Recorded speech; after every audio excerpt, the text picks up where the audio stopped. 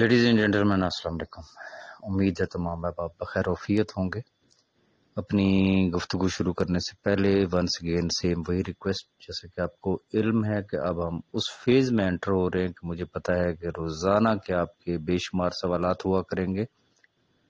और हर शख्स के सवाल का मैसेज का जवाब नहीं दिया जा सकता, ना कॉल पिक की जा सकती है। तो बेहतर ये होगा कि आप इस यूट्यूब चैनल को सब्सक्राइब कर लें। बेल आइकन जो है, उसको प्रेस कर लें, ताकि जब भी कोई इंपॉर्टेंट चीज़ होगी, मैं यहाँ पे शेयर करूँगा तो उसका ऑटोमेटिकली आपको नोटिफिकेशन मिल जाएगा।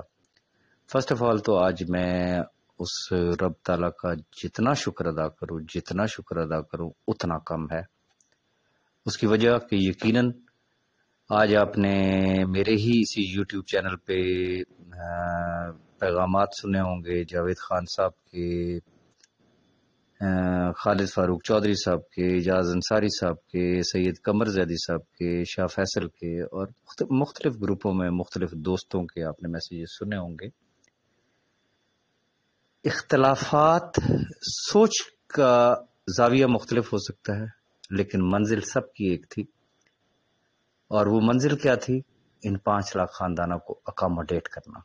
और सबसे बड़ी हमारी जो गुड लक कि हमें सीओ सैफर रमान खान, न्याजी जैसा मिला, जो आज भी अपने उन लफ्जों पे कायम है कि इनशाला किसी का भी एक आने टके का नुकसान नहीं होने दिया जाएगा।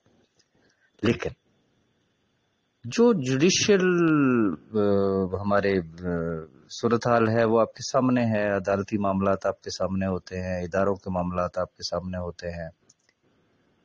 वक्त तेज़ी के साथ गुजर रहा है तो फिर एक सब्टीट्यूट जहन में आया, कोशिश की, उसके लिए थोड़ी सी तगोदो की हम लोगों ने, और रब ताला ने हमारी सुन ली। मैं उस हवाले से सिर्फ़ इतनी गुजारिश करना चाहूँगा कि चूँकि मैंने सारे वॉइस नोट्स वगैरह सुने हैं, एक चीज़ मैं बड़ी कैटेगोरिकली आप लोगों को बताना चाहूँगा कि उस कंपनी के साथ सह भाई का ताल्लुक क्या होगा। ये जहन में रखिएगा कि सैब भाई, ना तो उस कंपनी के पार्टनर होंगे, ना ही वो उस कंपनी के डायरेक्टर होंगे। उनका, उस कंपनी के साथ किसी भी किस्म का कोई ताल्लुक नहीं होगा, सिवाय इसके कि वो उस कंपनी के शुक्रगुजार होंगे कि इस मुश्किल घड़ी में जो सैफ भाई की लाइबिलिटी है, जो अहबाब उस कंपनी से मुंसलिक होना चाहेंगे, वो उसके जित उन लोगों के जितने भी पैसे बनते होंगे वो सैब भाई जैसे उस, उनके बैंक अकाउंट्स ओपन होंगे तो उस कंपनी को वो उसकी अदायगी कर देंगे। और उसके लिए ऑब्वियसली सैब भाई ने उनको गारंटी और इश्योरिटी देना है कंपनी को कि यस कि जब बैंक अकाउंट्स ओपन होंगे तो उनको पेमेंट कर दी जाएगी। एट द सेम टाइम क्योंकि बहुत सारे अहबाब के जहन में ये क्वेश्चन है कि खुदा ना करे कल को वो कंपनी भाग जाती देन तो एट द सेम टाइम सैब भाई, आपको भी गारंटी करेंगे कि जब तक आपके अमाउंट्स क्लियर नहीं होते, खुदा ना करे। पहली बात तो ये है कि ऐसा होगा ही नहीं। लेकिन खुदा ना करे अगर ऐसा हो तो सैब भाई, आपके लिए भी गारंटर हैं कि आपका नुकसान नहीं होने देंगे, फिर भी लाइबिलिटी वो सैब भाई के ही सर होगी। और कोई ज़बरदस्ती का सौदा नहीं है। जिसका दिल चाहेगा वो उस कंपनी में शिफ्ट हो जाएगा और जिसका नहीं दिल चाहेगा वो ना हो जब बैंक अकाउंट्स ओपन होंगे, वो उस वक्त अपनी पेमेंट ले सकता है। अब जो हमने मंडे की बात की इनशाला मंडे तक दो पार्ट्स है, ये जहन में रखिएगा। एक तो वो कंपनी क्या है? और उनका बिज़नेस प्लान क्या होगा, क्या सूरत होगी वो चूँकि एक डिफरेंट चीज़ है। बी फॉर यू फैमिली का ताल्लुक सिर्फ़ इस चीज़ से है कि आपके कितने पैसे लगे हुए हैं किसी भी मद में। वो आपका डिपॉजिट है, वो आपकी एक्टिवेशन फ़ीस है, वो आपकी कार कमेटी के पैसे हैं, या आपका कोई डॉलर्स का लेन देन किसी का भी कोई फंसा हुआ। रीजन ये है कि जैसे ही ये कॉन्ट्रैक्ट ये एमओयू साइन होता है तो फिर उसके लिए कुछ फैक्टर्स होंगे, कोई बेसिक कोई फार्मूलाज होंगे कि हर इंडिविजुअल की कैलकुलेशन किस तरीके से की जाएगी। तो उस हवाले से बस उस फार्मूला को जस्ट तय करना है और चूँकि टारगेट ये है कि किसी भी शख्स के आने, टके का कोई नुकसान ना हो हाँ जिन्होंने तो तुन के कमाया हुआ है ना लगाया लाख था तो कमा लिया उन्होंने दो लाख। मैं एक मिसाल दे रहा हूँ। तो उनको तो शायद कंसिडर नहीं किया जाएगा, लेकिन बिलखसूस बिलखसूस बिलखसूस जो एंड यूज़र हैं, जो 2021 में आए, जिन जो बेचारे कुछ नहीं कमा सके, किसी ने कोई एक विड्रॉल लिया, किसी ने दो लिए, किसी ने तीन लिए, और पता नहीं किस हाल में वो लोग रह रहे हैं। उनका एक एक आना एक एक टेडी पाई वो कंसिडर होगी। मैं रिपीट कर रहा हूँ इनशाला आपके डिपॉजिट्स आपके कार कमेटी, आपके एक्टिवेशन फ़ीस या कोई डॉलर फंसे हुए हैं जो ट्रांजेक्शन उस दौर में होना थी, लेकिन वेबसाइट बंद हो गई, लेकिन अब आप नहीं कर सके, उन तमाम चीज़ों में एक क्लैरिटी लानी है। और जैसे ही ये सारी चीज़ें ऑपरेशनल होंगी तो फिर जो क्राइटेरिया तय हो चुका होगा, वो क्राइटेरिया आपको बता दिया जाएगा, उससे हर शख्स अपनी कैलकुलेशन खुद भी कर सकता है कि उसके अकाउंट में कितने पैसे थे और क्या उसका कोई नुकसान तो नहीं हो रहा, किस क्राइटेरिया वो फार्मूला आपके सामने आ जाएगा। तो फिर जैसे ही वो ऑपरेशन स्टार्ट होगा तो हमारे लिए भी आसानी होगी, उनके लिए भी आसानी होगी सैब भाई के लिए भी आसानी होगी।